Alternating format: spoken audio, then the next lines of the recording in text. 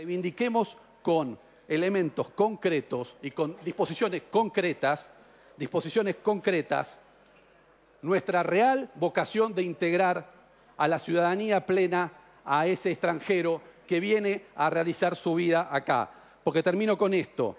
Desde el punto de vista de la progresividad en el reconocimiento de derechos que inaugura el reconocimiento universal de los derechos humanos, cabe preguntarse al menos si el efectivo goce de prerrogativas que implican una ciudadanía económica y social no debería conducir al reconocimiento de los derechos políticos de aquellos que tienen voluntad de establecerse sin por ello obligarlos a abandonar su pertenencia nacional. Jean Peter profundiza esta noción.